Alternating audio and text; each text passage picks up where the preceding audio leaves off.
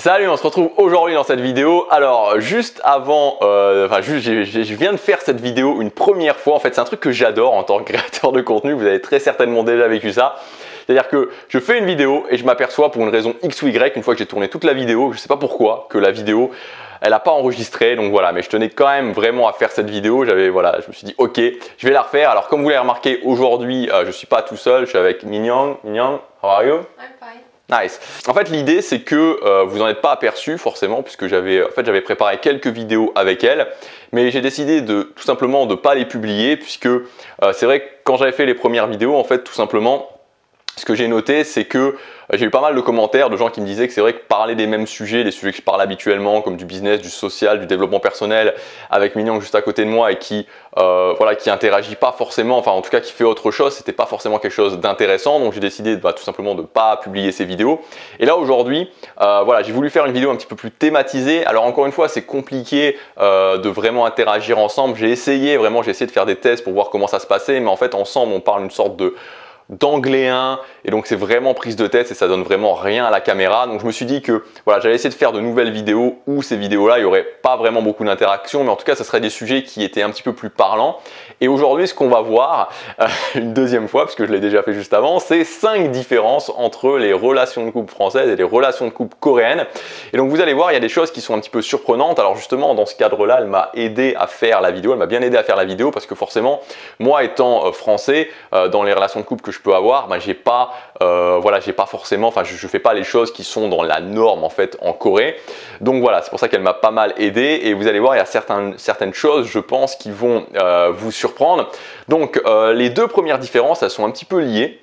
La première différence, en fait, c'est que en France, on va dire que pour acter le fait qu'on devient une relation de couple, pour acter le fait qu'on sort ensemble entre un mec et une fille, ce qu'on va faire, c'est que on va, bah, typiquement, on s'embrasse. Voilà, quand j'ai embrassé une fille sur la bouche, quand j'ai embrassé un mec sur la bouche, ou voilà, enfin bref, quand j'ai embrassé quelqu'un sur la bouche, bah, en général, on dit qu'à ce moment-là, on devient une relation de couple.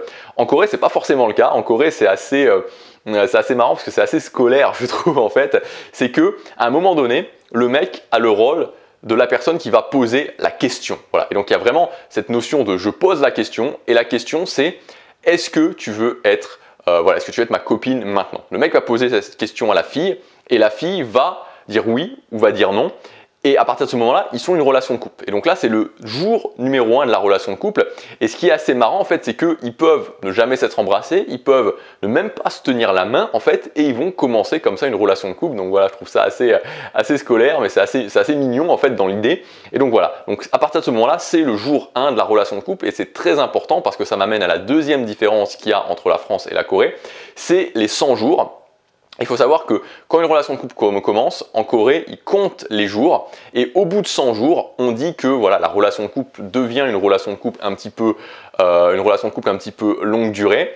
Et donc, à partir de ce moment-là, euh, ils vont, à partir des 100 jours, ils vont s'offrir un anneau et c'est l'anneau des 100 jours. Voilà. Et à partir de ce moment-là, ils portent en fait un anneau de couple qui est l'anneau des 100 jours et qui veut dire qu'ils sont en relation de couple. Troisième, euh, troisième différence, c'est euh, le fait que euh, vous avez peut-être déjà remarqué ça, c'est qu'en Corée, c'est la même chose. Au Japon, il y a des hôtels un petit peu spéciaux euh, qui sont des hôtels où on va le dire, voilà, on va le dire, on va le dire comme c'est, où les Coréens, les couples coréens, ils ont des relations sexuelles en fait, et c'est des relations qui sont avant le mariage. C'est-à-dire qu'avant le mariage, il n'y a vraiment pas cette idée, vous comprendrez plus tard avec une autre différence, mais il n'y a pas cette idée de je vais chez mon copain ou je vais chez ma copine.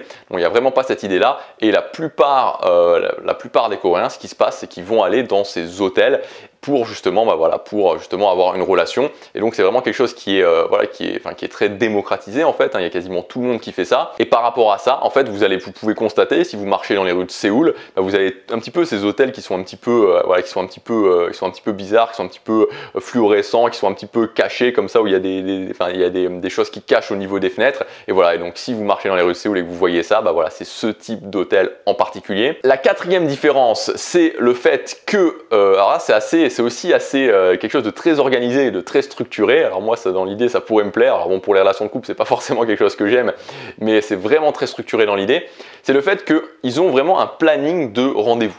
Comme ils vivent pas ensemble, ce qui se passe, c'est qu'ils vont vraiment dans la relation de couple, ils vont se dire quasiment un petit peu ouvrir l'agenda et se dire ok, ben on va se voir le mercredi, on va se voir le vendredi, on va se voir le dimanche, de telle heure à telle heure. Et c'est un petit peu fixé dans le marbre en fait. Et ils vont suivre ce rythme. En tout cas, bon, ça veut pas dire qu'ils le font tout le temps, tout le temps, tout le temps, mais ils vont vraiment suivre ce rythme. Et donc ça veut dire que si par exemple il y a de la famille ou si un copain qui les appelle, un ami qui les appelle, euh, et qu'ils ont et que c'est le jour du rendez-vous qu'ils ont avec leur relation de couple, avec leur copain ou leur copine, bah, ce qu'ils vont faire tout simplement, c'est dire bah non, écoute, c'est le jour de mon couple, c'est le jour où j'ai un rendez-vous avec mon copain, avec ma copine, et donc du coup, je peux pas. Cinquième différence, et moi personnellement, c'est la différence qui m'a euh, le plus euh, surpris en fait, c'est que euh, dans, enfin les Coréens en général, avant le mariage, avant vraiment avant le mariage, ils ne vivent pas du tout ensemble, et même plus que ça, c'est qu'ils vivent chez leurs parents. En fait, ils vivent chez leurs parents et euh, ça peut être jusqu'à des âges avancés, parce qu'il faut savoir que les, femmes coréennes, en moyenne, elles se, marient vers 28 ans, environ 27, 28, 29 ans. Les mecs, c'est plus tard, dans 32, 33, 34. Et donc, ça veut dire que jusqu'à cet âge-là, alors que des fois, ils peuvent avoir un travail depuis 5 ans, 6 ans, 7 ans, 8 ans, 9 ans, 10 ans, ils sont toujours chez leurs parents. Alors, c'est pas tout le monde, mais c'est vraiment quelque chose qui est dans la norme, en fait. C'est vraiment, vraiment quelque chose qui est dans la norme. Et donc, vous avez vraiment, euh, vous avez vraiment cette idée où bah, je suis avec mon copain, je suis avec ma copine, mais je vis toujours chez mes parents et euh, vraiment, voilà, c'est vraiment quelque chose qui est assez, euh, en général, avant le mariage, c'est comme ça que ça se passe. Et quand je me marie, à ce moment-là, je déménage. Alors, des fois, je peux même déménager. Ce qui se passait avant, c'était qu'en fait, c'était la, la, fille qui déménageait chez les beaux-parents. C'était quand même quelque chose qui était. Alors maintenant, ça tend à changer, ça, mais quand, avant, c'était quelque chose qui était vraiment, vraiment dans la norme. C'était la fille qui déménageait chez les beaux-parents et donc chez les parents euh, du garçon. Euh, et, donc voilà, et donc moi, pour moi c'est assez surprenant parce qu'en général, quand on est français, on se dit ok, euh, quand j'ai euh, voilà, quand j'ai 22 ans, quand j'ai 23 ans, quand j'ai 24 ans et que je gagne de l'argent, bah voilà, je vais, je vais prendre mon indépendance. Mais en Corée, c'est pas du tout dans la norme. Et enfin, la dernière différence, c'est qu'il y a quelque chose qui est vraiment très institutionnalisé en Corée, enfin qui est vraiment très démocratisé en Corée, c'est euh, c'est en fait les, rendez-vous arrangés. C'est-à-dire qu'en gros, ce qui va se passer, c'est qu'ils vont, euh, par exemple, deux filles entre elles, deux copines ou un groupe de copines, quand il y a une copine qui a envie euh, d'avoir un, copain, bah, ce qu'elle va faire, c'est qu'elle va tout simplement dire à une de ses copines, bah t'as pas un copain à me présenter. Et il y a vraiment cette notion où voilà, les rendez-vous vont avoir tendance à être arrangés. Et en fait, moi, ce que j'ai noté, c'est qu'il y avait quand même relativement peu de rencontres hors cercles sociaux. C'est-à-dire que c'est assez rare en fait justement qu'il y ait des approches à froid en Corée. Et moi, de l'expérience que j'ai pu avoir, quand j'ai pu aller parler à des filles que je connaissais pas, des Coréennes que je connaissais pas, dans différentes situations, en général, elles sont assez surprises. Alors moins surprises parce que je suis un occidental et donc elles savent que c'est un petit peu plus dans la norme, mais elles sont quand même assez surprises. Et il y a vraiment une dynamique qui est très très différente en Corée. C'est-à-dire qu'en France, en tout cas moi de mon expérience, c'est quand vous allez parler à une fille, en général, pas, pas, toutes les filles, mais beaucoup de filles peuvent être un petit peu saoulées parce qu'elles ont quand même l'habitude de se faire aborder régulièrement dans la rue ou ailleurs. Et donc il y a un petit peu cette notion où je me fais aborder régulièrement et ça peut être un petit peu saoulant pour moi. Alors qu'en Corée, c'est pas du tout la même chose. C'est vraiment le côté très surprise euh, parce que c'est pas du tout habituel.